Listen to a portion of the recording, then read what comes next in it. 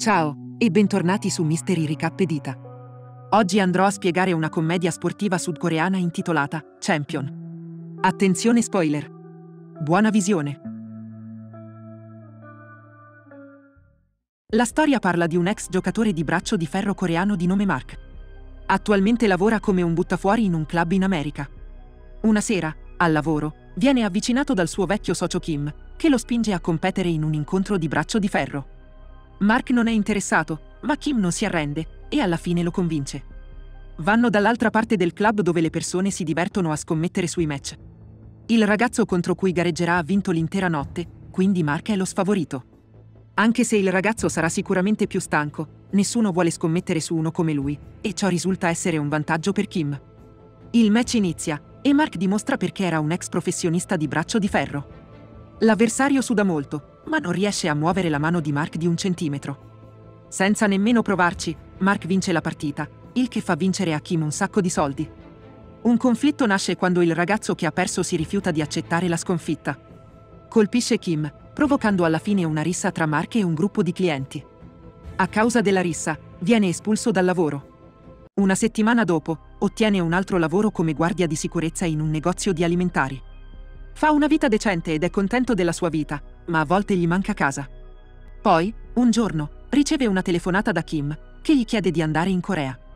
C'è un torneo di braccio di ferro che inizia a Seoul, il cui vincitore potrà competere a livello internazionale. Mark fissa le sue vecchie medaglie per molto tempo, prima di decidere di correre il rischio più grande della sua vita. All'atterraggio a Seoul, Kim viene a prenderlo.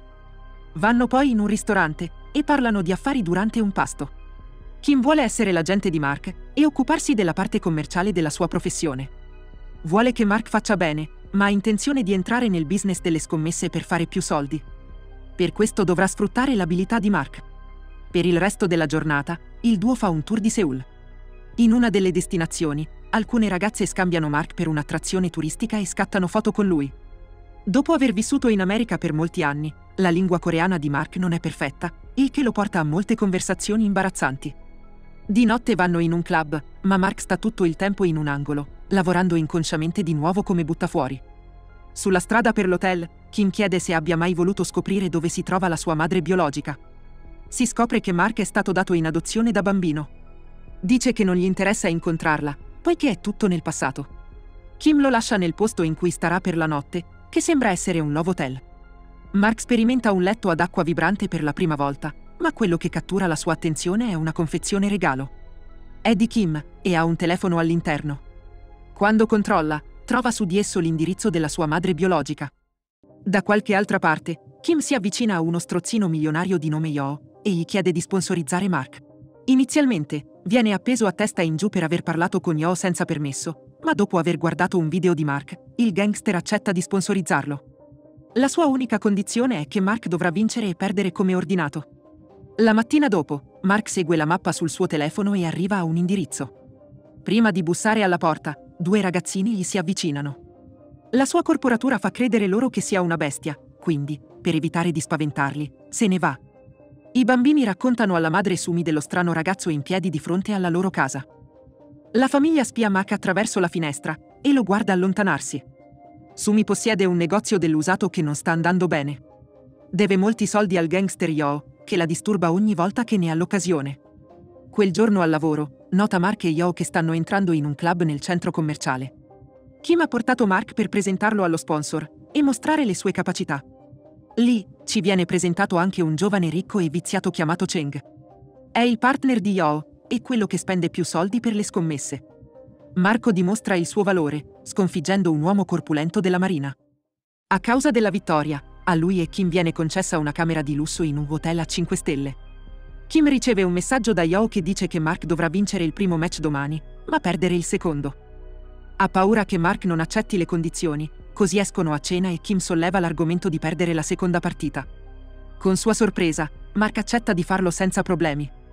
La mattina seguente, vediamo Sumi preparare i suoi figli per la scuola.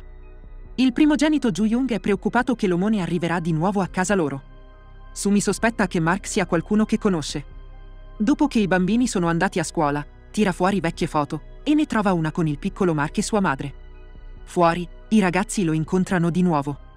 La più giovane, Junee, è eccitata, ma Ju-young minaccia di chiamare la polizia se vedrà di nuovo Mark.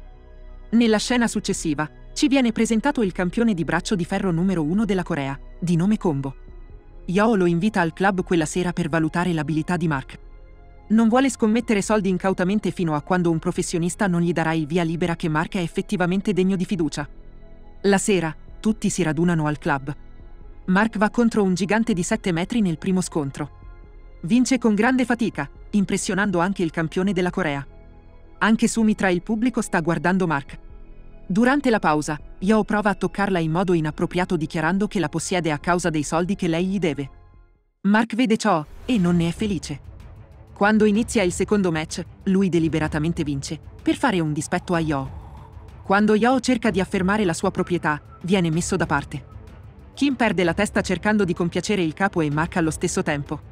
Si rende conto che Sumi è il motivo per cui Mark lo ha tradito. In un impeto di rabbia, va da lei per chiedere informazioni sulla sua relazione con Mark. Allo stesso tempo, Yao arriva e inizia ad aggredire Kim. Mark interviene, provocando l'inizio di una lotta tra tutte le persone di Yao e lui da solo. Durante il combattimento, Sumi chiede a Yao di fermare i suoi uomini, ma viene gettata a terra. Il trambusto si ferma quando la polizia arresta Mark e Kim. Hanno bisogno dell'identificazione di Mark per poterlo lasciare libero, ma ha perso la borsa e il passaporto nella rissa precedente. Il poliziotto e Mark vanno uno contro l'altro in uno scontro, dove il secondo dimostra di essere in realtà un professionista del braccio di ferro. Tuttavia, l'uomo rifiuta di lasciarlo andare senza una corretta identificazione. Proprio in quel momento, Sumi arriva alla stazione di polizia con i suoi figli. Ha trovato il suo passaporto e ha una foto di lui e sua madre che prova la sua identità. Viene quindi rivelato che Sumi è la sorellastra di Mark e la loro madre è morta un anno fa. Mark ha il cuore spezzato nel sentire la notizia e non sa come elaborarla. La famiglia invita Mark e Kim a stare a casa loro per qualche giorno. I bambini lo adorano per la sua personalità unica. Alla piccola Junee piace coccolarsi con Mark, mentre Jun-young inizia a parlargli più spesso. Fuori casa, un gruppo di adolescenti fuma, rifiutandosi di andare via anche quando Sumi glielo chiede, ma quando Mark arriva davanti a loro, si scusano e scappano in un istante. Il giorno dopo, l'agente di Yao viene a prendere il denaro da Sumi e la minaccia. Allo stesso tempo, Mark sta per partire con le sue cose, non volendo essere un peso per la famiglia. Manda via gli strozzini, ma i teppisti gli fanno capire che dovrebbe stare con la sua famiglia per proteggerla. Durante i giorni seguenti, si divertono molto tutti insieme. Vanno ai buffet, mangiano insieme, giocano insieme e vivono come una famiglia felice. Fino a quel momento era difficile per Sumi gestire un'attività e due bambini da sola. Casa sua è piena di vestiti disorganizzati dei suoi affari. Un giorno, torna a casa e vede che è stato tutto pulito. Mark si prende cura anche dei bambini in modo che possa concentrarsi sul lavoro. Nel frattempo, Kim è nei guai a causa della mancanza di denaro. Dopo aver visto Mark con i bambini, ottiene un'idea e chiama un amico che lavora in una società di radiodiffusione. Vuole documentare la vita di Mark per guadagnare la simpatia della gente, insieme a del denaro. Mark è scettico, ma accetta di farlo comunque. Nella scena seguente, vediamo Mark e la famiglia che vanno in gita.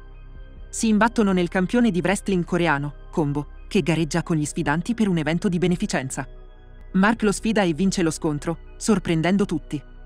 Qualche settimana dopo, la storia del suo duro passato, dell'adozione e delle lotte nel wrestling viene trasformata in un documentario televisivo. Lo spettacolo diventa un successo immediato e fa loro una discreta quantità di denaro. I bambini iniziano ad amare ancora di più il loro zio. Un giorno, mentre vanno a scuola, sentono per caso una donna che parla male di Mark. In risposta, Junee dichiara che suo zio è un campione e gli fa promettere che vincerà il campionato nazionale per lei. Nella scena seguente, ci viene presentato il padre di Kim, che è vecchio ma lavora sodo per sopravvivere. L'unico motivo per cui Kim è irremovibile nel fare più soldi è che vuole dare a suo padre una vita migliore, in cui non deve più lavorare. Al ritorno a casa quel giorno, Jun-young chiama Mark e gli mostra le email che sua madre scriveva tutti i giorni.